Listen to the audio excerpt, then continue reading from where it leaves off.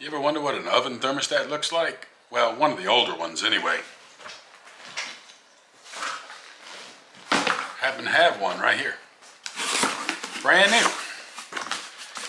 This is on an old Hotpoint stove that uh, uses the, the old style thermostat.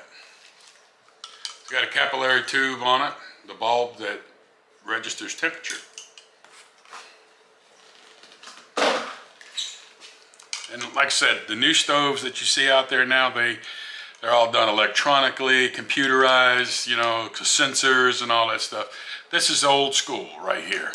And what I've seen a lot of people on occasions will do is this little thin piece of copper right here. If it breaks, they think that they're gonna fix it by twisting it together like you would a wire. Actually, you can't do that. This bulb is filled with gas. And when the temperature rises in the stove, that gas expands, goes through this tube, goes inside of this thermostat here, pushes like a little contact that's connected to a bellows.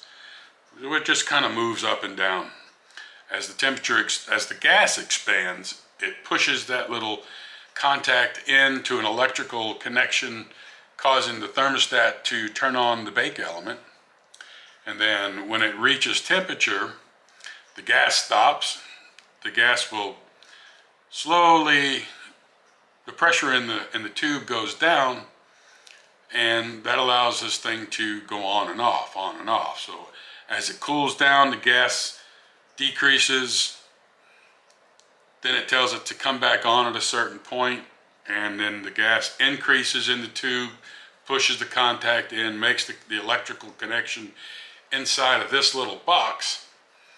And it just continues to cycle like that, on and off, on and off, on and off, to regulate your temperature. Now what happens sometimes is that the inside of this thermostat, like I said, it is a, a mechanical type of device, so they get either weak or they might get a little rigid.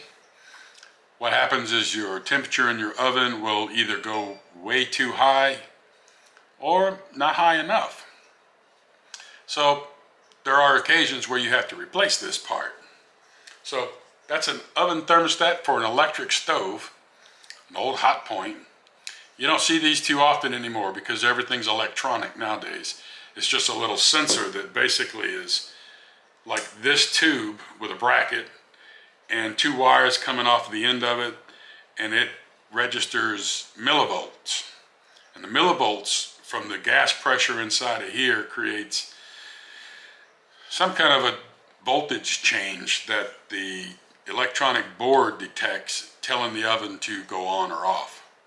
But for now, on an old Hotpoint stove, we'll use the old analog type the gas tube and the capillary tube that's all gas filled.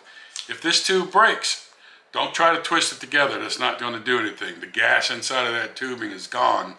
And so you've totally negated anything that that thermostat's going to do. Not going to regulate temperature anymore.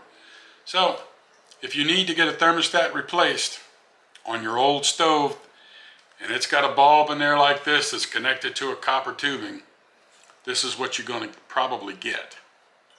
All right, guys, this is Dan Jiles. I'll see you in the next video.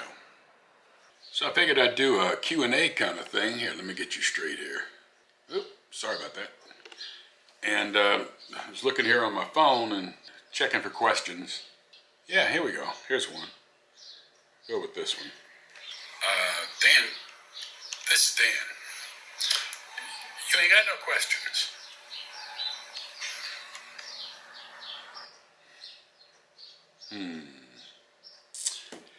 Hmm. This is a bust.